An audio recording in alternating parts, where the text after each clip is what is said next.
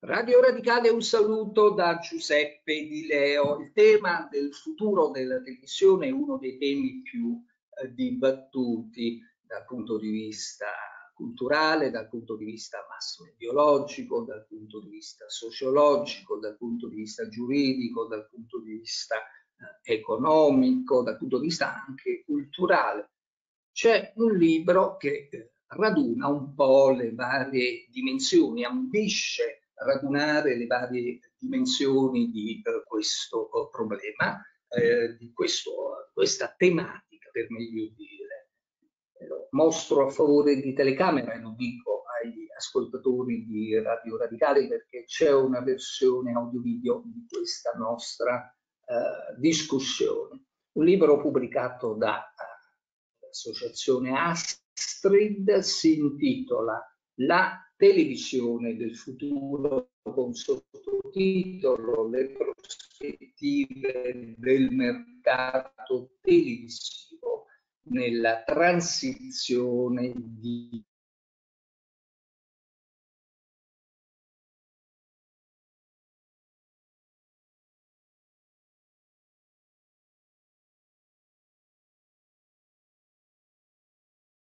e per discutere discuterne abbiamo Giuseppe, quattro, no, no, no, quattro curatori che passo subito a uh, Fernando, allora lei è e scrittore, si occupa di diritto, sociologia ed economia eh, dei media, è stato a capo della segreteria tecnica del Ministro delle Comunicazioni dal 2006 al 2008, componente del Consiglio Superiore delle Comunicazioni 2007-2010, dopo per acquisito e gli ascoltatori di Radio Radicale eh, lo sappiano, e poi, e poi consigliere del presidente Agicom dal 2014 al 2019, attualmente lavora all'ufficio studi del, dell'Agicom. Um,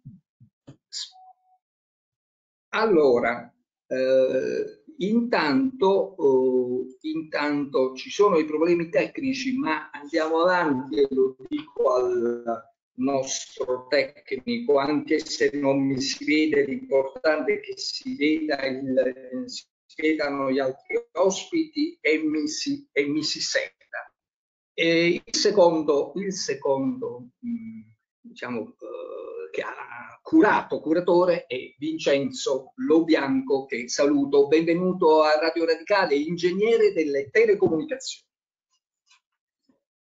Vincenzo Lobianco svolge attualmente attività di studio e consulenza per amministrazioni ed enti di, di eh, ricerca, insomma è un esperto di queste tematiche. Il terzo curatore, Antonio Perrucci, professor Antonio Perrucci, docente alla LUMSA, e il quarto, Augusto Preta, che è invece un economista. Allora, Chiedo a Vincenzo Lobianco di eh, esplicitarci in due minuti due le ragioni di questo libro. Come è nato? Grazie. Eh, sì, buonasera dottor Di Leo e buonasera a tutti gli ascoltatori. Volevo dire, eh, sì, la, le ragioni di questo libro nascono da un'interrogazione che ci siamo fatti a noi stessi, un gruppo di, di lavoro nell'ambito di Astrid e infatti preferirei che poi passare la parola al dottor Perrucci che eh, nell'ambito di Aspid si occupa di queste tematiche da tempo. L'idea era di capire quale potesse essere lo sviluppo della televisione nei prossimi anni, partendo da quello che è adesso il digitale terrestre e quello che potrà essere nel futuro, ma che è già realtà, cioè lo, lo streaming e quindi abbiamo un po' analizzato sotto il profilo tecnico la situazione attuale e la situazione futura per capire se eh, quello che c'è in campo adesso permette una transizione della televisione sotto il profilo tecnico dal digitale terrestre, che è il mezzo preferito per ascoltare e vedere la televisione in Italia, a uno strumento diverso, in sostanza a, a internet, allo streaming, cosa che ben conosciamo tutti o quasi tutti, che ha avuto uno sviluppo enorme a partire dalla crisi pandemica che ha costretto in casa e quindi ha, ha fatto in qualche misura, non dico la fortuna perché le piattaforme erano già nate e già crescevano, ma insomma ha, ha, ha aiutato le piattaforme a distribuirsi anche in Italia e, e, quindi capire un attimo come, come potrà essere distribuita la televisione agli utenti, alle famiglie nei prossimi anni. Questo è un po' l'intento sotto no, il profilo. Allora metto subito in campo Antonio Perlucci. Come è nato questo libro, Antonio Perlucci, in collaborazione fra il Mulino e Astrid? Due minuti anche per lei. Sì, intanto vorrei arrivare alla ciccia. Eh? Sì, sì, arriviamo rapidamente. Intanto la collaborazione è tra noi quattro, i quattro curatori, siamo tutte persone che conoscono abbastanza bene il settore perché tre di noi sono stati o stanno tuttora in, nell'autorità per le comunicazioni. Siamo partiti con una domanda, ma quanto durerà il digitale terrestre? E abbiamo capito poi che la domanda più esatta è, sarà, ma che tipo di televisione ci sarà nei prossimi dieci anni? E a quel punto abbiamo messo in campo le diverse competenze, quindi c'è tutta una prima parte interessante, eh, a mio avviso, non per fare propaganda, sullo scenario tecnologico, gli scenari tecnologici. E questo, devo dire, non lo si ritrova da molte altre parti, non è un tema così approfondito, poi dirà meglio Vincenzo Bianco. Ci siamo poi interrogati su quali erano i mutamenti negli assetti di mercato, e di questo poi parleremo con Augusto Preta, eh, intendendoli fondamentalmente dal lato dell'offerta, ma anche considerando come cambiavano i, gusti, le propensioni alla fruizione da parte dei consumatori finali. E da ultimo abbiamo detto sì, d'accordo, ma qual è allora eh, l'azione, lo spazio che c'è per eh, l'intervento pubblico? Quello previsto diciamo, dalla Costituzione, quindi la tutela del pluralismo di informazione e eh, eh la tutela, eh, la, la par condicio che è sopraggiunta eh, in un altro momento. Se questo contesto fosse ancora eh, un contesto adeguato alle trasformazioni in atto che poi tra pochi minuti vedremo più esattamente. E il, il contesto significa eh, quali sono dei mh, fattori endogeni ed esogeni, come ricorderà Fernando Bruno, che quest, rendono questa transizione un processo più lento o meno accelerato di quanto si stimasse. Questa è la nostra principale conclusione. Siamo nel mezzo di una trasformazione, avanti ma non, è, non si è conclusa. Siamo sempre nel mezzo di una trasformazione, per la verità, come ci ricorda, come ci ricorda già Platone nel mito della caverna, ma eh, certamente questa può essere un'epoca peculiare di trasformazione, intanto dal punto di vista anche di epistemologia tecnologica.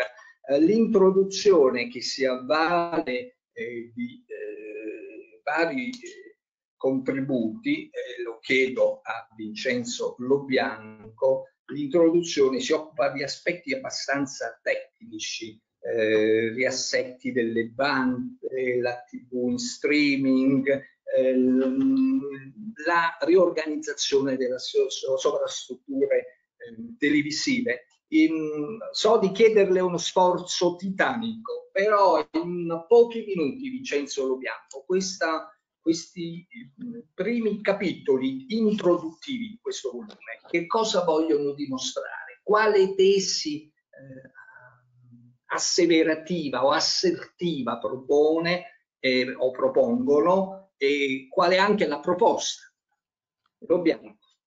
Sì, grazie. No, ma eh, la, mm, la tesi assertiva in realtà non ce n'è io ero partito personalmente con una tesi, essendo diciamo un ingegnere, essendo sempre, avendo lavorato sempre sul fronte dell'innovazione tecnologica, pensavo che il digitale terrestre fosse sul punto di cedere il suo, come dire, suo spazio a, a internet e allo streaming. In realtà non è così, ma non è così per vari motivi, non solo tecnici, anche ovviamente economici e, e sociologici che verranno approfonditi dopo.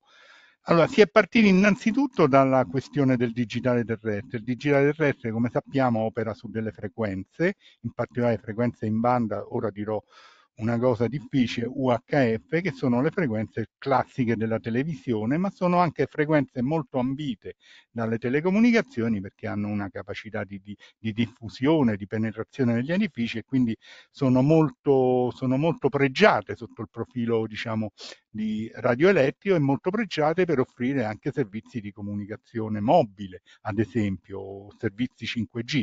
E quindi l'idea è queste frequenze, come già è successo in parte, verranno piano piano fagocitate dalle telecomunicazioni e quindi non ci sarà più spazio in Italia per il digitale terrestre.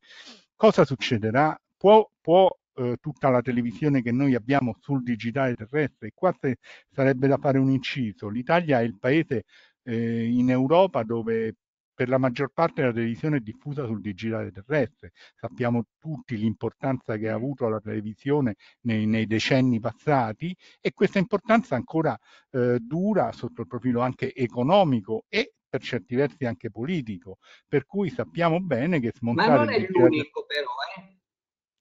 No, non è, è quella l'unico dove... paese, diciamo i paesi mediterranei, Spagna, Portogallo ha perfettamente ragione, però l'importanza che ha in, in, in, Italia forse non la avuta negli altri paesi, visto anche che uno dei maggiori attori di, questo, di questa filiera è stato anche un, uno dei politici più importanti d'Italia negli ultimi vent'anni, quindi sappiamo che la sua importanza è stata, è, è stata diciamo, notevole, più, a, più, che in altri paesi. Comunque ha perfettamente ragione, il digitale terrestre è diffuso soprattutto nel Mediterraneo. E, ehm, e, quindi abbiamo cercato di capire quanto potrà durare il digitale terrestre. E in effetti una prima buona notizia per chi vuole, per chi ama il digitale terrestre è arrivata dalla conferenza mondiale delle radiocomunicazioni che noi lo prevediamo nel libro, eh, facciamo anche un'ipotesi, eh, ha previsto che queste frequenze potranno essere mantenute dalla televisione per almeno, almeno per altri otto anni, fino al 2031, quando si ridiscuterà della possibilità di cedere tutta o parte di queste frequenze alle telecomunicazioni.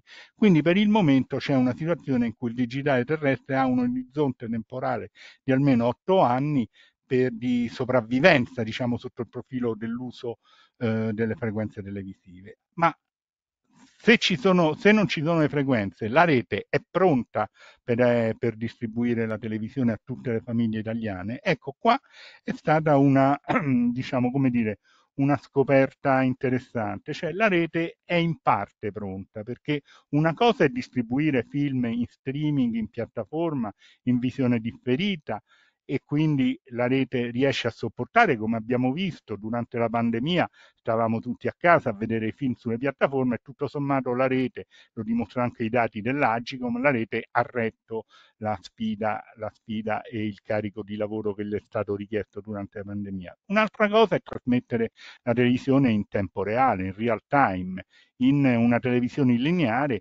per cui ad esempio il momento in cui c'è un evento di portata nazionale, quale quello che abbiamo appena visto, il Festival di Sanremo o, o quello futuro, gli europei di calcio, in cui magari 20 milioni di famiglie vogliono vedere in tempo reale eh, la partita, la rete non si sa se è in grado di sostenere il carico perché eh, la trasmissione del segnale televisivo sulla rete internet è un carico abbastanza importante che si insomma a tutto il carico di lavoro che la rete già svolge, accesso ai siti web, eh, YouTube, cioè il video mm. per i social, eh, e anche per le piattaforme televisive standard, quelle dello streaming on demand, che poi si declina in varie categorie, come ci ha spiegato molto bene Augusto Preda nella sua parte. Quindi abbiamo cercato di capire qual è la, qual è la, mh, quali sono le prospettive della TV su internet e, e abbiamo anche cercato di elaborare delle proposte se vogliamo fare in modo che internet sia in grado di sostenere una TV in tempo reale per tutte le famiglie italiane. E le proposte sono sostanzialmente quelle di fare in modo di introdurre delle, degli artifici tecnologici all'interno della rete che possano favorire la distribuzione del segnale televisivo. Ad esempio le famose reti CDN, Content Delivery Network, cioè le reti di distribuzione dei contenuti che giocano un ruolo importantissimo nel distribuire il segnale a tutti gli utenti eh, televisivi. La mancanza di queste CDN o comunque la loro sottodimensionamento, eh, i, i, nostri ascoltatori, io penso i vostri ascoltatori l'abbiano percepita quando è nata Dazon Amazon che ha distribuito il calcio su internet e vi ricordate tutti che due o tre anni fa quando segnava il Napoli o, o la Juventus praticamente appariva la, la rotellina che, e, e, e e il video si congelava. Perché? Perché evidentemente la rete di distribuzione non era adeguata. Adesso le cose sono migliorate grazie anche a un intervento, e questo è spiegato nel libro, un intervento della, dell'autorità dell'Agicom per richiedere a Dazon di migliorare la, il proprio eh, sistema di distribuzione. Ecco, e anche proponiamo... grazie alle minacce di risarcimento degli utenti. Eh, certo, certo, è evidente, è chiaro che eh, diciamo eh, sì, abbiamo non una... è normale in uno stato non è normale in uno stato di diritto diciamo costituzionale dove prima di uh, uh, offrire un servizio ci devono essere anche delle strutture o sovrastrutture adeguate per tutelare chi di quel, se- di quel servizio si serve o chi a quel servizio si abbona anche con oneri eh, non proprio irrisori. Le pare, ingegnere? No, questo ha perfettamente ragione. Bisogna dire un, alcune cose. Intanto è stata assegnata, cioè bisogna intanto vedere qual è stato il comportamento della, eh, della, di, di, chi ha voluto il calcio su internet e che si è fidato di determinate rassicurazioni che avrebbe funzionato tutto e evidentemente queste rassicurazioni non erano proprio eh, non erano proprio fondate. E, poi c'è stato un discreto successo. E poi è una materia nuova, per cui c'è anche un, come si dice in gergo, un learn by doing. Si impara, certo i poveri utenti ci vanno di mezzo perché pagano per il servizio e poi non hanno una buona qualità del servizio. Però devo dire che le cose sono migliore, migliorate. Quindi noi sono proponiamo... Non sono ancora non sono ancora perfette, perfette, ma insomma, diciamo che in questo momento in Italia se già le cose migliorano è già un passo in avanti. Oh, dopo l'aspetto, diciamo così, eh, strutturale, organizzativo, naturalmente l'aspetto eh, economico e quindi lo scenario competitivo e conseguenziale. Ehm, e lo chiedo all'economista Augusto Preda, c'è la parte seconda, praticamente con un capitolo, il settimo, sulle prospettive del mercato televisivo nella transizione digitale, firmato fra le altre fra gli altri da Antonio Buttà, Maria Cristina Giorgini, da Antonio Perrucci, appunto da um, Augusto Preta. Chiedo a Augusto Preta e poi a Antonio Perrucci di integrare uh, quanto detto innanzitutto dall'economista. Prego, Preta. Sì, ecco, io mi collego al, al, a quanto Vincenzo Lo Bianco ha detto, partendo da un aspetto tecnologico che non mi compete per arrivare diciamo, alla dimensione economica del fenomeno. Nella situazione italiana noi dobbiamo considerare anche il fatto che rispetto agli altri paesi non si è mai sviluppato il cavo, quindi questo è stato un elemento che ha determinato profonde, una profonda legacy, come si dice in termini, cioè nel senso che il sistema è stato costretto a muoversi su un'unica fondamentalmente rete di distribuzione, poi avvicinata dopo qualche tempo dal satellite, che però ovviamente per ovvie ragioni non può raggiungere una dimensione molto più elevata o comunque non di massa. Eh, detto questo, quindi evidentemente l'impatto di Internet in termini di mh, processi globali, prima di arrivare diciamo, alla situazione nazionale, ha determinato proprio la possibilità di poter trovare una rete alternativa e nuova alla diffusione diciamo, del segnale televisivo. E questo l'ha fatto nelle modalità distruttive che conosciamo, cioè nel senso che ha fatto in modo che quel processo di convergenza che da molto tempo veniva reclamato e di cui si parla da oltre 30 anni poi diventi effettivamente realtà, cioè eh, alla fine diciamo, di questo processo capire da dove si vede un programma, da quando si vede e su quale device si vede diventa diciamo, un elemento che mh, come dire, tende a sovrapporsi sempre più. E ora su questo processo diciamo, di profonda trasformazione eh, dobbiamo considerare uno scenario che non è uno scenario fermo, cioè uno scenario in continua eh, evoluzione, in continua trasformazione, eh, uno scenario, come ho detto, in parte eh, distruttivo e che ha, che ha portato diciamo, all'evoluzione eh, anche dei consumi da un punto di vista eh, mediale. Eh, questo è dovuto principalmente, come si ricordava, all'ingresso diciamo, delle piattaforme di, di, video streaming, in particolare nel libro viene analizzata tutto quello che era diciamo, l'evoluzione eh, che è l'evoluzione di Netflix, perché effettivamente è da Netflix in poi che si comincia a parlare diciamo, di video streaming e di evoluzione del mercato eh, televisivo. Quindi diciamo come se la televisione avesse un pre-Netflix e, e un post-Netflix. E, e, rispetto a questo è evidente che eh, questo fenomeno ha determinato una maggiore attenzione al consumatore. Questa maggiore attenzione al consumatore, poi Fernando Bruno penso ne parlerà in maniera diciamo, molto uh, più ampia e, e, e, complessa di quanto non posso fare io che sono un povero economista, e diciamo fondamentalmente determina... Non si, giù, non si butti giù, che negli ultimi anni no. gli economisti sono diventati presidenti della Repubblica, anche all'inizio per verità, e presidenti del sì, Consiglio. Diciamo allora un analista di mercato.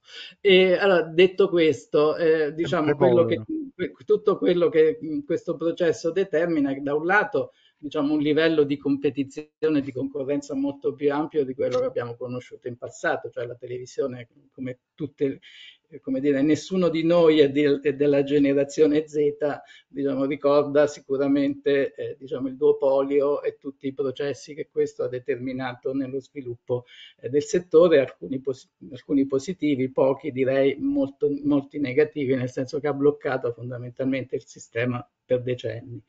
Eh, questo processo eh, diciamo, ha fatto sì che invece negli ultimi anni, con offerte molto più econ eh, economicamente convenienti e con un'offerta sempre più ampia si sia determinata la possibilità per tutti eh, gli utenti di avere accesso a dei servizi diciamo eh, più ampi e in molti casi migliori, nel senso che anche lo sviluppo diciamo di quello che è eh, le offerte locali hanno avuto la possibilità, cioè il prodotto nazionale oggi può essere visto anche a livello globale e internazionale grazie a questi operatori.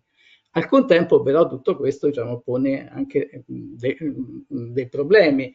I, I, problemi sono collegati al fatto che eh, diciamo, il rischio è che questo processo di continua evoluzione, di continua trasformazione, alla fine, come è avvenuto per tanti altri processi, porti a un consolidamento e a una, eh, come dire, forte eh, scarsa rappresentatività di quelle che sono diciamo, le, le, le, le, realtà nazionali e le realtà locali. E quindi da questo punto di vista una tendenza alla globalizzazione che sicuramente non favorisce attori che in questo momento sono meno dotati di risorse economiche in grado di poter competere con questi a proposito giganti, giganti di globalizzazione, grazie Preta a proposito di globalizzazione, credo che Perrucci, Antonio Perrucci abbia da aggiungere qualche postilla su, sull'argomento.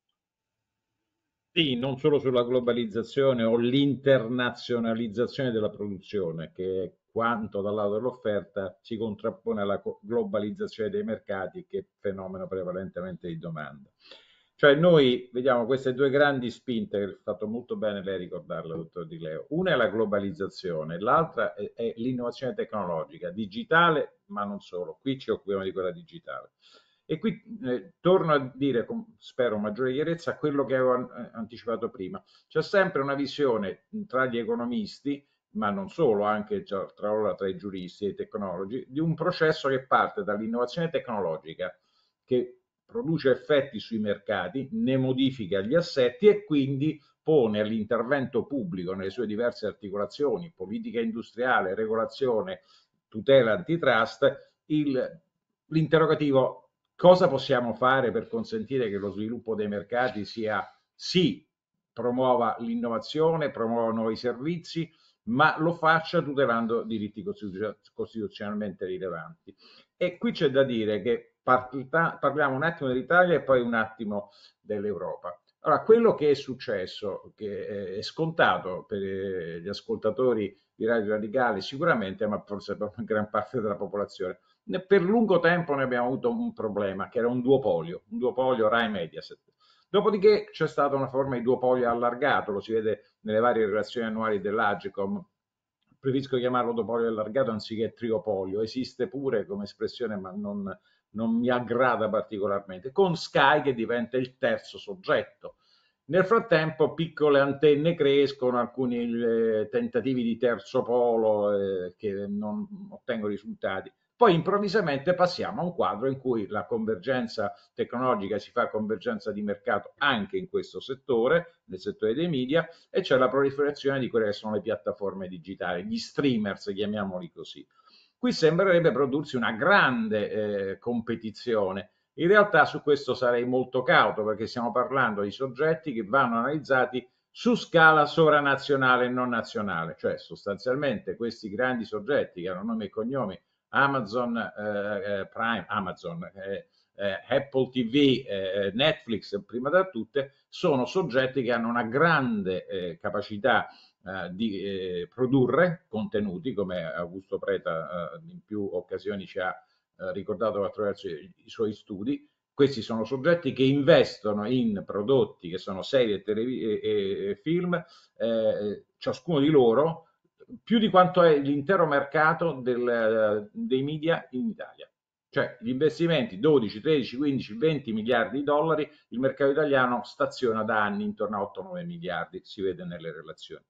Cosa colpisce quando si passa alla alla, che cosa fanno le politiche, intendendo sempre che le politiche devono tener conto di quello che accade sul mercato e a loro volta di quello che accade nel, nel, nel sottoprofilo tecnologico, ma anche quello che accade nel mercato deve tener conto delle politiche, quindi un processo di circolarità, non di unidirezionalità. Mm. E qui devo uh, dire, c'è una globalizzazione anche delle norme. L'Europa si è riservata un dato importante, un mestiere importante.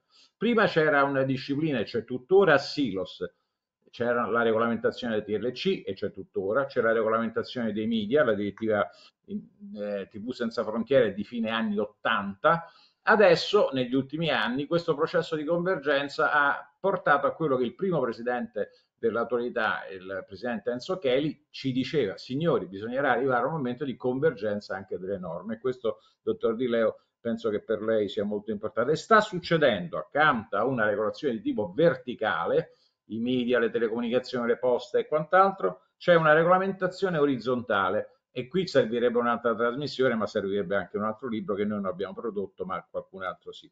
In poco tempo Beh, sono entrati... quello in Prego. Allora, le, le, allora le, le, richiamo brevemente. Sul mercato, de, sul tema dell'accesso ai dati, questa grande risorsa che molti chiamano nuovo petrolio, ma lasciamo perdere questa immagine, abbiamo due act, cioè due regolamenti, il Data, eh, Data Governance Act, entrato in vigore da qualche tempo, e il Data Act che è entrato in vigore da poco, ma soprattutto le due grandi direttive entrate in vigore da poco, la Digital Markets Act il 7 di questo mese e il Digital Service Act. E de jure aspettiamo che ad aprile ci sia il quinto grande, e non è l'ultimo, ma il quinto grande pilastro che l'Artificial Intelligence Act. Quindi sostanzialmente la globalizzazione, anche da questo punto di vista, dottor Di Leo, è molto l'Europa che dimostra una capacità di disciplinare il cosiddetto Brussels effect.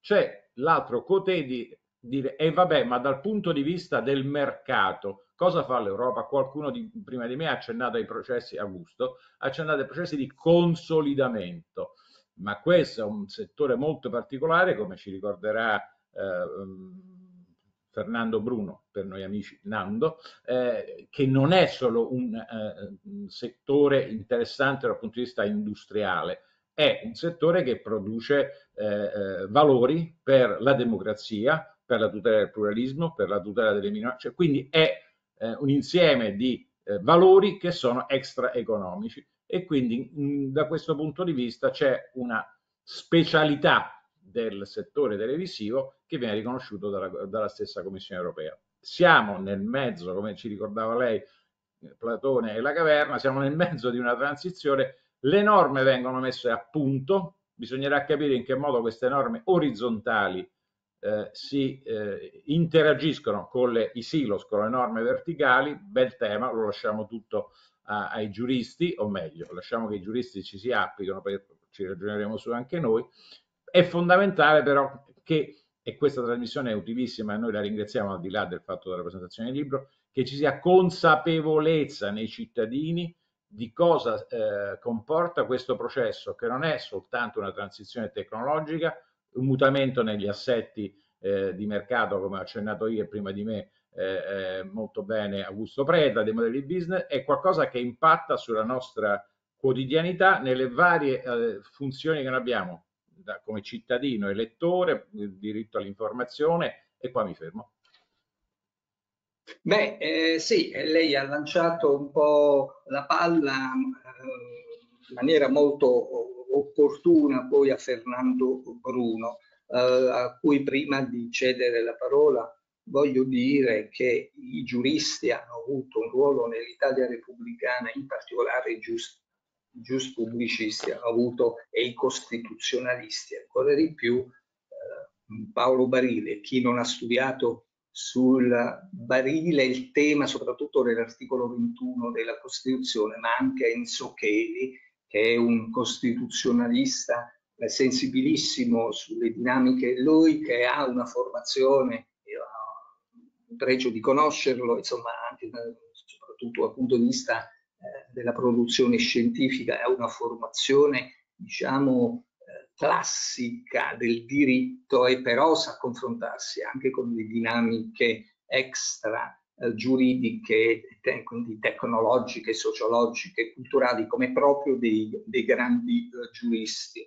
Eh, ma appunto arriviamo alla parte terza, perché, eh, perché Antonio Perucci parlava di Europa. Il problema è avere consapevolezza eh, di essere europei, del ruolo dell'Europa, vale anche per, per l'Italia. E io credo che mh, la sfida oggi forse la stiamo perdendo, ma non voglio condizionare l'intervento di Fernando Bruno che eh, si inserisce per la parte terza, che è la più problematica.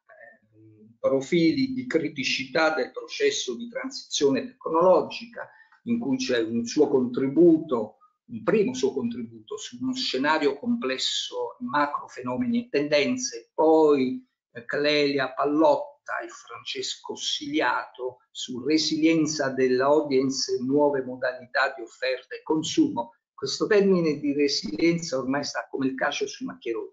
Poi Fernando Bruno, criticità e fattori inerziali. E la parte quarta, i profili di policy eh, con eh, insomma una sfida soprattutto sul perché, afferma sempre di Fernando Bruno, ha ancora senso parlare di servizio pubblico radio-televisivo. E allora partirei proprio da questa domanda, Fernando Bruno. Lei sostiene che è eh, diciamo ingenuo eh, scardinare il sistema eh, di servizio pubblico radio-televisivo Partiamo da questo assunto e poi sintetizzi la parte terza e la parte quarta in 5 minuti 5. Eh, sono io stesso quando assumo nel contesto che è esattamente quello, grazie direttore, esattamente quello che lei riferiva, e cioè una cornice europea in cui eh, di, di chiaroscuri, in cui gli scuri sembrano prevalere sui chiari in questo momento c'è nelle parti che io eh, ho curato una, un'evidente vena pessimistica su dove stiamo andando e l'idea è che ci sia un ruolo dei servizi pubblici radiotelevisivi al plurale in Europa, un ruolo da giocare inevitabilmente ed ineluttabilmente, anche al netto delle deficienze e dei limiti su cui né io né i miei colleghi di scrittura facciamo sconti come lei avrà avuto occasione di constatare, ma c'è un ruolo ineludibile che ha a che fare con, come dire, con il governo delle opinioni pubbliche, con la formazione delle opinioni pubbliche, con la costruzione di un immaginario collettivo e di quel tanto di coesione sociale che serve a tenere come dire, il tessuto civile di un paese lontano dai rischi di disgregazione, perché l'altro corno del problema che noi affrontiamo è quali sono le conseguenze di uno scenario ben raccontato nelle prime parti del volume, sia dal punto di vista tecnologico che dal punto di vista degli scenari di mercato, quali sono le conseguenze del trionfo delle grandi piattaforme digitali sotto il profilo dell'offerta dei contenuti e in particolare dell'offerta di informazione. Quindi il ruolo dei servizi pubblici, al netto di tutte le criticità che pure chiamiamo per nome, è, è, è sicuramente importante. Ma perché? Perché e mi ricollega alla seconda parte della sua domanda per stare nei cinque minuti, perché nel complesso di parte terza e parte quarta del volume, in qualche modo è andato maturando una sorta di controcanto. Questo libro nasce su un impulso, uno stimolo, mi ricordo bene, di Antonio Perrucci, da vecchi amici, spesso attorno a un tavolo, ma nasce nel 2020. Lascio solo per ricordare, siamo nei primi mesi di quella devastante esperienza del Covid che tanto ha cambiato anche dal punto di vista dell'offerta dei contenuti e dell'evoluzione nell'offerta dei contenuti e ci interroghiamo eh, su una domanda, ma che fine fa il digitale terrestre? Lo streaming ha già vinto?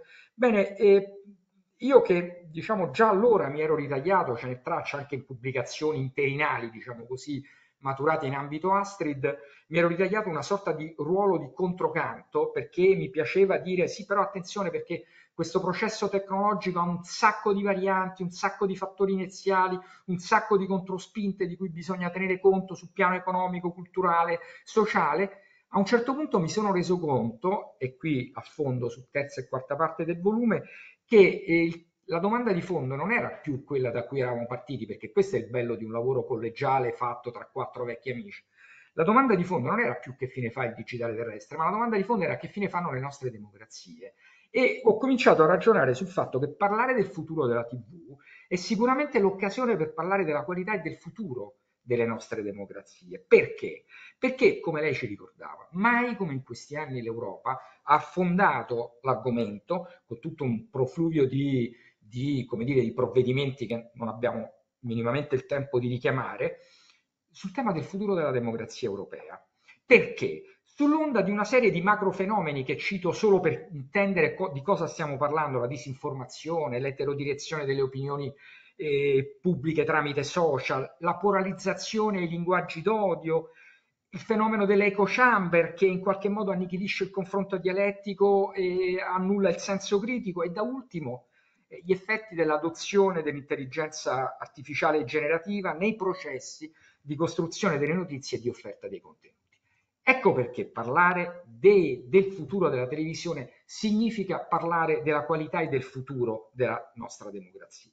E l'obiettivo in qualche modo delle parti di volume che ho curato insieme ai colleghi che lei ha opportunamente citato era, come dire, cogliere la relazione tra il futuro dell'offerta televisiva e quindi le nuove tecnologie trasmissive, il video streaming, i nuovi soggetti sul mercato, le nuove modalità di offerta e di consumo, la creazione del nuovo palinsesto dei consumatori e alcune specifiche dinamiche di contesto che impattano questo processo di novità e ne cambiano traiettorie e tempi. E quali sono questi processi? Quelli che vengono diffusamente descritti nella parte terza del volume, li cito così. Sono la resistenza delle audience del digitale terrestre, i trend demografici di invecchiamento della popolazione che rendono sempre più complessa una porzione di popolazione l'impossessamento degli strumenti necessari a avere una vera e propria cittadinanza digitale, gli indici di povertà con una crescente, con una crescente come dire, allargamento delle diseguaglianze economiche che rende difficile e ostica anche la possibilità di accesso all'offerta televisiva. Infatti gli economisti ci ricordano come stia cambiando anche sotto il profilo dell'offerta economica l'offerta televisiva. E infine il deficit di cultura digitale che è una vera e propria palla al piede. Cioè, poi chiudo, c'è un dato, il DESI, che è l'indicatore coniato dalla, Unione, dalla Commissione europea per fotografare il progredire dei processi di digitalizzazione nei 27 paesi dell'Unione, che non rende pienamente giustizia della difficoltà che come paese riscontriamo dal punto di vista dell'alfabetizzazione digitale.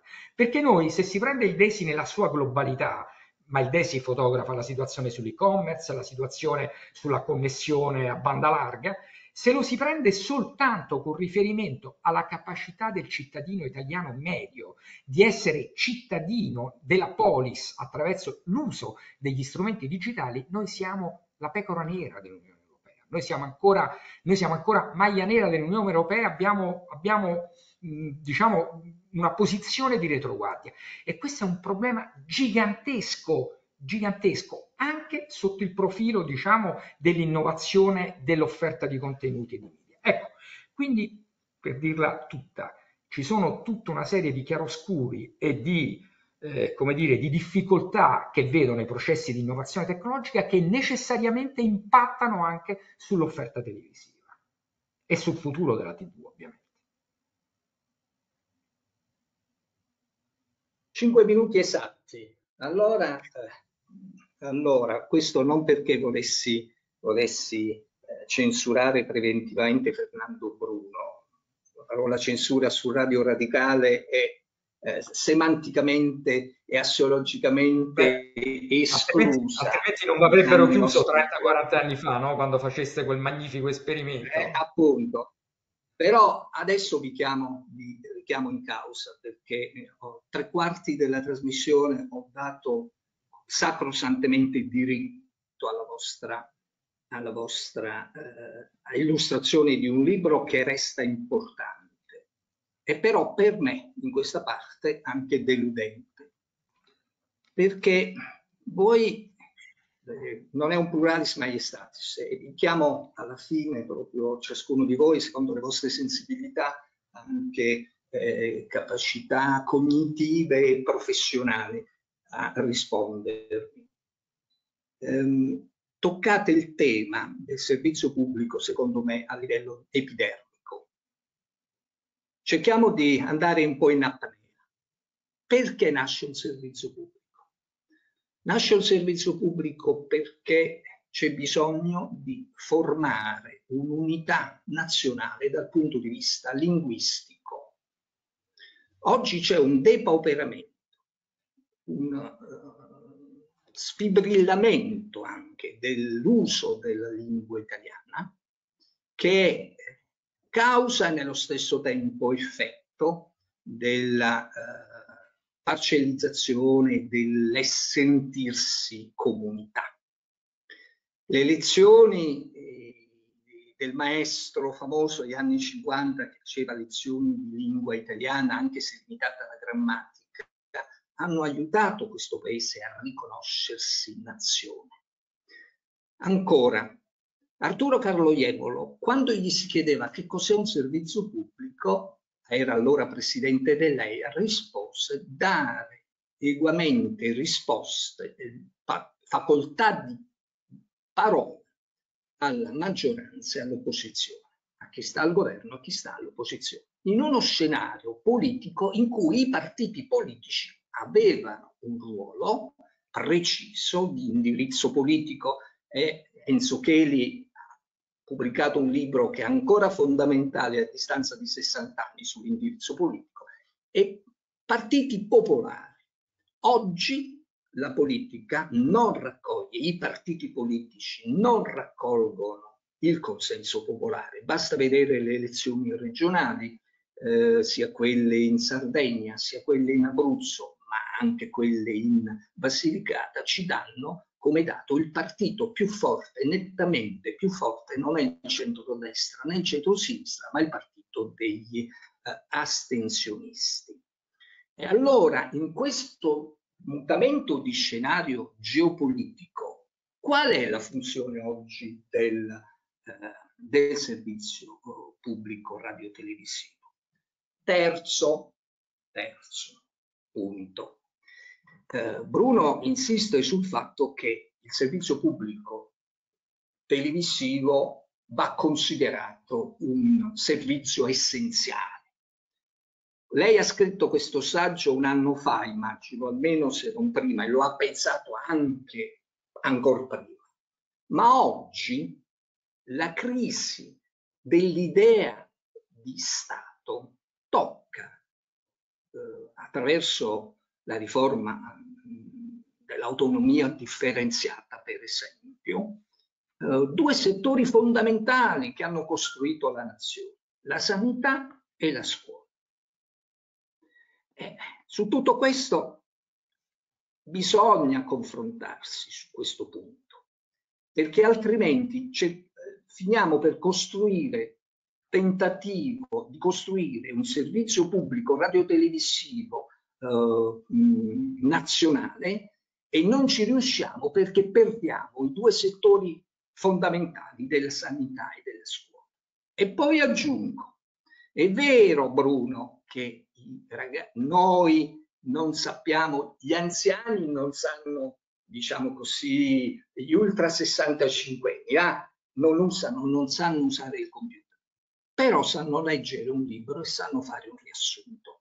I ragazzi giovani, quarantenni, anzi anche i cinquantenni, sanno usare un computer, ma non leggono più libri complessi, non sono in grado di analizzarli e di farne un riassunto. Allora, questa, questo ripensamento, e naturalmente il discorso lo potrei portare anche a livello europeo, consapevolezza di essere un popolo europeo, consapevolezza dei partiti politici di costruire una cultura politica europea che superi le vecchie famiglie novecentesche, socialiste, democristiane, liberali, eccetera, che sappiano rispondere alle sfide del ventunesimo secolo. Io questo non l'ho trovato, Bruno, in queste considerazioni pur provocatorie da parte, da parte sua. Eh, e vorrei solleticarvi, sollecitarvi, provocarvi a una risposta eh, con un giro di tutti e quattro. Eh, direi, di cominciare, direi di cominciare da eh, Antonio Perrucci, poi Vincenzo Lobianco, poi Augusto Preta e Dulcis in Funda, ovviamente Fernando Bruno. Tre minuti per ciascuno. Grazie. Allora, grazie, starò nei tre minuti. Intanto è una delusione che mi piace, nel senso che rimanda a un nostro progetto, che è quello di proseguire con un osservatorio eh, sui media, tenendo conto anche delle indicazioni che nelle note conclusive vengono da Enzo Chedi e che vanno in parte significativa nella direzione da lei indicata. Quindi una ridefinizione del servizio pubblico, assolutamente, una eh, tener conto del fatto che siamo eh, cittadini europei e non solo perché ci sono regolamenti che entrano direttamente nel nostro eh, ordinamento eh, giuridico legislativo, ma anche perché ci aspettiamo insomma, che l'Europa sia un fattore eh, che, di collante di comunità. Per quanto riguarda poi tema, due temi specifici, eh, devo mh, chiedere il soccorso all'altro mio mestiere, quello direttore de, nella Fondazione Astrid del eh, laboratorio sull'ecosistema digitale. Abbiamo prodotto un volume su Costituzione quale riforma, che è questo qui, e io lo rifarò avere, io non c'entro nulla perché qui sono tutti grandi costituzionalisti, D'Amato, Bassanini, Cheli e quant'altro, e questo discute sul premierato. Glielo farò avere. L'altro invece è, partendo dal tema dell'autonomia differenziata, stiamo proprio facendo due approfondimenti sulla sanità, e in questo sono personalmente coinvolto, e l'altro è sull'istruzione. Ha ragione. Questi sono due pilastri fondamentali. Eh, sulla sanità si giocano anche le sorti politiche a livello locale, ma soprattutto c'è una trasformazione, c'è stata una trasformazione significativa al di là del noto divario eh, nord-sud. Quindi, eh, ancora, mh, eh, tornando a quello che diceva Nando Bruno prima, sicuramente c'è uno spazio per il servizio pubblico, il maestro Manzi a cui faceva riferimento, peraltro il libro l'abbiamo presentato a Bologna proprio presso la sede dei Coreo nella sala dedicata a Manzi. Bene, un compito tra i tanti, perché non, per ragioni di tempo, ma anche per ragioni mie di specifica competenza, è avvicinare la famosa alfabetizzazione digitale. Questo non sta avvenendo, non sta avvenendo anche con riguardo, faccio una digressione rapidissima, c'è un passaggio dal mercato li, tutelato al mercato libero nel gas e nel settore dell'energia elettrica, non se ne sa nulla, non se ne sa nulla. I pochi che fanno comunicazione, comunicazione sociale, sono le aziende che sono interessate a promuovere le loro offerte. Però sulla digitalizzazione, su che cosa sono queste nuove tecnologie, quindi non il fatto di diventiamo tutti programmatori, facciamo i corsi di coding o di cyber security, ma come questi strumenti possono essere usati, beh, io ho notato, insieme anche all'amico Vincenzo, che magari sono delle fondazioni o delle associazioni che danno un contributo a come difendersi nel contesto, nel contesto di genere. La televisione ha un grande spazio, sicuramente il servizio pubblico televisivo ha un grande spazio, laddove, questa è un'opinione, non sono certamente l'unica a sostenerla, sono in ottima compagnia, e non dovrebbe essere limitata soltanto alla, uh, all'operatore pubblico, quindi al concessionario pubblico. C'è secondo me una potenzialità enorme che ha il sistema televisivo, perché lei ha ragione, i giovani non leggono e, i giovani sono abituati a quella cultura, eh, ma anche i meno giovani, guardi, sono abituati alla cultura dello spot, per cui la prima domanda è sì, questo libro è interessante, quante pagine, di quante pagine è? E eh, un cenno, ecco, secondo me un'emergenza, sto esagerando fino a un certo punto, è l'educazione all'intelligenza artificiale generativa, su cui parecchio sto, stiamo investendo al, presso Astrid, faremo un seminario il 17 aprile, cominciano ad esserci anche delle aziende italiane che producono questi large language models, cioè questi sistemi di intelligenza artificiale generativa, ma come cittadini, come eh, lettori, come elettori, non siamo, eh, non dico sufficientemente informati, minimamente informati, anche se come la parola resilienza, il termine resilienza è diventato un, eh, un must, bisogna assolutamente menzionarlo, altrettanto vale per l'intelligenza artificiale. Ora, eh, se in un discorso, io l'ho fatto questa, in questa occasione, non si parla di intelligenza artificiale, mh, anche da parte dei, dei media, eh, non si è alla pace. Ecco, forse qui c'è uno spazio enorme per aiutare il processo di eh, adozione di queste tecnologie perché non siano eh, un modo per coartare le nostre libertà fondamentali. Vincenzo Lobianco, tre minuti di orologio anche per lei. Sì, grazie. Sì, io parto da alcune parole che ha detto molto opportunamente Antonio Perrucci. Io, come ha detto all'inizio, sono ingegnere e quindi non vorrei mettermi sullo stesso terreno dei, dei colleghi giuristi econom- o sociologi che hanno parlato molto meglio di me, hanno approfondito meglio di me il tema del servizio pubblico, né mettermi sul piano degli illustri nominativi da lei citati, a cominciare dal presidente Enzo Gelli, che è stato il, prim- il nostro primo presidente dell'autorità. Però ecco, dal mio punto di vista vorrei dire che servizio, nel servizio pubblico c'è uno spazio enorme che dovrebbe servire per eh, educare e, la cittadinanza, i cittadini all'innovazione tecnologica. C'è uno spazio enorme.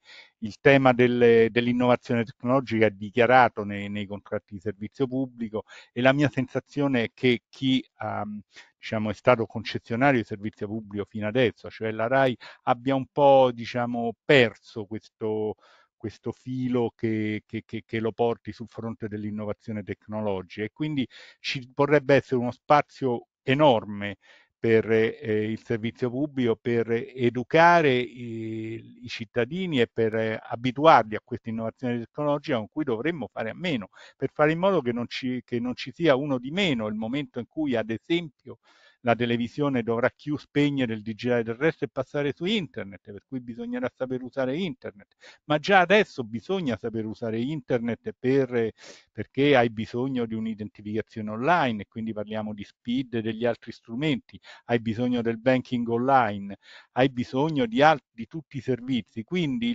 eh, il servizio pubblico, ricordando anche l'era eroica di, del maestro Manzi da voi citati, e potrebbe svolgere un ruolo enorme nell'educazione del, ai, eh, dei cittadini all'innovazione tecnologica, in particolare per alcune categorie di persone che eh, sono casualmente anche le maggiori fruitrici della televisione eh, lineare del servizio pubblico, cioè le categorie di persone over, sopra una certa età, che hanno limitate conoscenze del digitale, che hanno limitate, eh, che hanno diciamo una difficoltà ad apprendere, ad entrare in questo in questi eh, ragionamenti. Allo stesso tempo io penso che la RAI, la RAI scusate, un fatto, la RAI come concessionaria del servizio pubblico debba eh, diciamo, farsi promotrice di innovazioni tecnologiche in maniera tale che eh, poi queste innovazioni tecnologiche possano eh, ricadere su tutta, a beneficio della,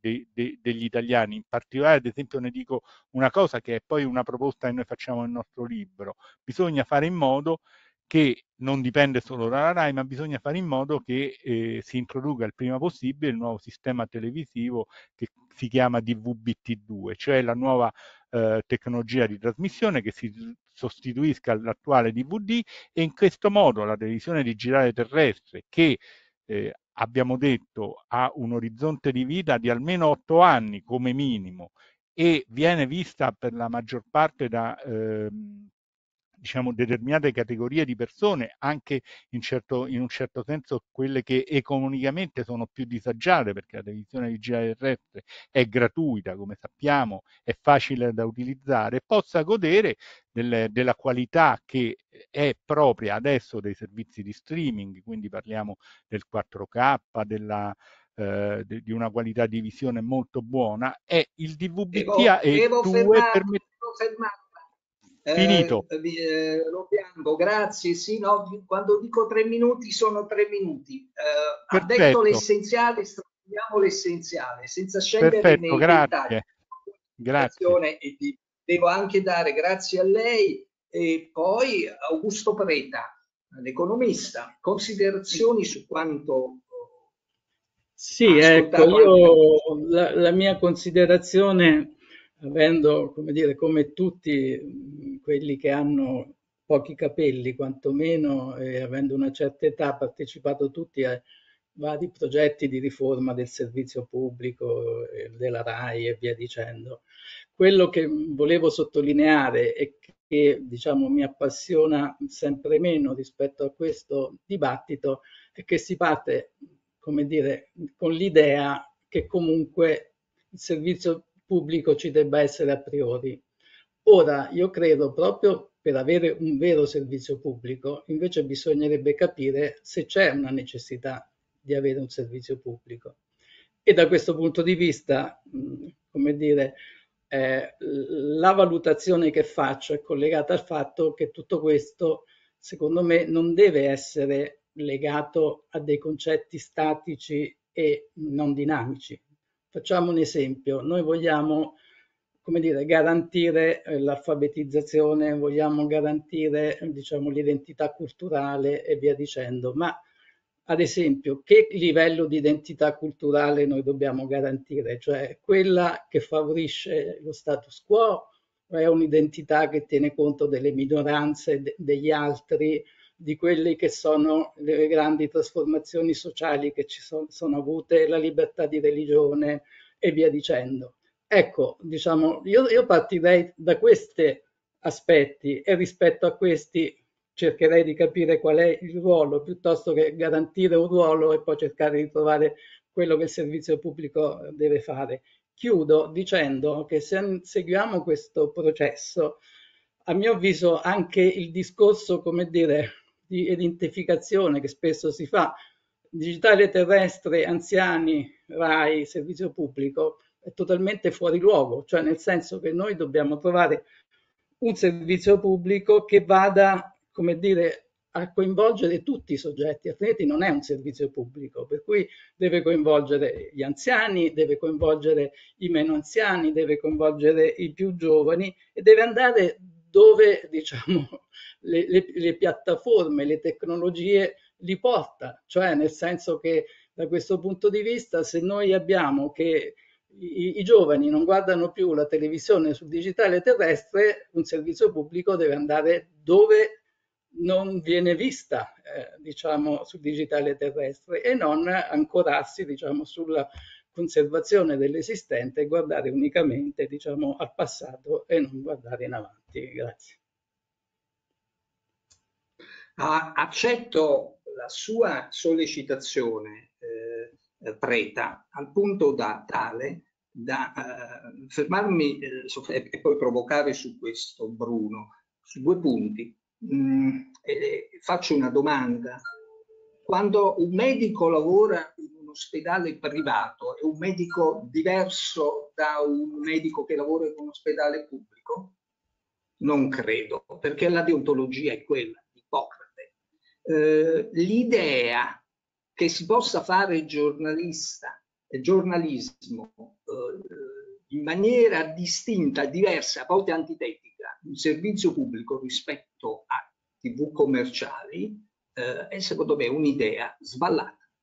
Quando tu fai informazione, sia se la fai su Mediaset, eh, sia se la fai sulla RAI, sia se la fai sulla 7, devi rispondere a un criterio di completezza, imparzialità, eh, valido per tutti. E a proposito dell'imparzialità, qui arriva il secondo punto, eh, Preta. Il problema oggi non è tanto soltanto di adeguamento eh, tecnologico, se vogliamo. Il grande problema, secondo me, il grande problema, i grandi problemi che attraversano la società occidentale a tutti i punti di vista sono contenuti sempre più spesso eh, condizionati dal cancro della cancel culture. Eh, da questo punto di vista, la libertà di religione, per esempio, a cui lei faceva riferimento, Preta, sì, d'accordo, ma tenendo presente che questo non significa essere neutrali. Non si può accettare, non si possono accettare religioni che vietino le grandi conquiste della società occidentale, a cominciare dall'emancipazione della donna, in nome di un pluralismo che sarebbe cialtronesco e pseudo pluralista. Fernando Bruno, Tre minuti, so che ne eh, vorrebbe 33, ma tre, minuti, tre minuti anche perché un giornalista per sintetizzare quanto sentito e chiudere questo nostro per ora allora, eh, il bello di un lavoro collegiale è che non sempre siamo d'accordo su tutti e questo ha fatto bene al libro. Io faccio soltanto una battuta rispetto alla provocazione intellettuale intelligente del mio amico Augusto, e cioè che la caccia all'audience e ai profitti, anche nel sistema televisivo, produce un fenomeno che è sotto gli occhi di tutti e di cui Augusto è uno dei maestri a, a, come dire, a dipingerlo, e cioè segmentazione dei pubblici, crescente profilazione dei gusti, targettizzazione esasperata delle persone. Questo scrivo nel libro. Ecco, il servizio pubblico deve fare l'esercizio esattamente opposto e questo esercizio lo può fare soltanto una televisione che abbia in qualche modo una policy pubblica e una, anche una governance pubblica. Tutto questo naturalmente non mi esime dal dire, lo ripeto, l'ho scritto, lo scrivo da una vita, che eh, se il servizio pubblico deve essere fatto come lo fa la RAI e come lo fa l'ultima RAI di questa nostra esperienza, è chiaro che c'è molto da dire e probabilmente poi ha ragione Preda. Questo per rispondere a questo primo tema. Il secondo tema, mi piace, direttore, che eh, lei tra l'altro mi sento il più esposto nella sua esplicitata delusione, provo a risponderle così. Noi non abbiamo voluto scrivere un libro sulla RAI, ma dovevamo parlare del futuro della TV nell'ambito dei processi di innovazione digitale. A un certo punto tutti noi, e io in particolare che avevo quel compito specifico, mi sono accorto che era impossibile evitare il tema del servizio pubblico. Ho cercato di farlo sulla, come dire, nel solco di quella risposta che davo prima, qual è la differenza tra le due offerte televisive, sapendo naturalmente che il problema che lei pone, e cioè la risposta al grande tema del deficit di partecipazione democratica di questo paese, la gente che legge sempre meno, i processi di marginalizzazione, eh, la crisi della democrazia. È chiaro che non è, non è compito del servizio pubblico, il servizio pubblico svolge un ruolo importante ma ancillare rispetto alle cose che pure scrivo nel libro, e cioè questo Per fare questo bisogna restituire la parola politica, ma a una politica che sappia fare davvero il suo mestiere, una politica che sappia fare policy, e cioè lavoro, scuola, formazione, politiche sociali. Questo dico nel libro.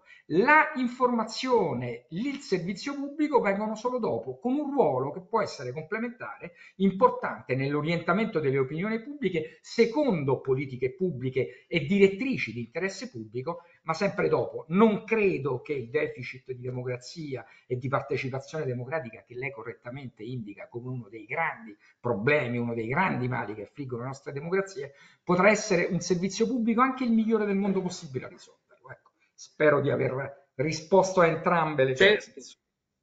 Però il servizio pubblico può essere in grado e deve avere il dovere di non assecondare certi processi di eh, deriva culturale, politica e addirittura antropologica. E per fare questo ci vuole, insomma, diciamoci la verità, una volta anche coloro che facevano il varietà sapevano divertire senza essere volgari. Una volta anche eh, coloro i quali parlavano di sport sapevano appassionare le varie discipline sportive analizzandole in maniera non polemica. Certi talk show condotti per esempio da Maurizio Costanzo avevano un, un garbo a prescindere se si condividessero o meno i contenuti che oggi i talk show non hanno. Allora non può sostituirsi un servizio pubblico radiotelevisivo e ripeto vale tanto non solo per la RAI, ma certo può non assecondarli, può criticarli e può proporre una narrazione diversa.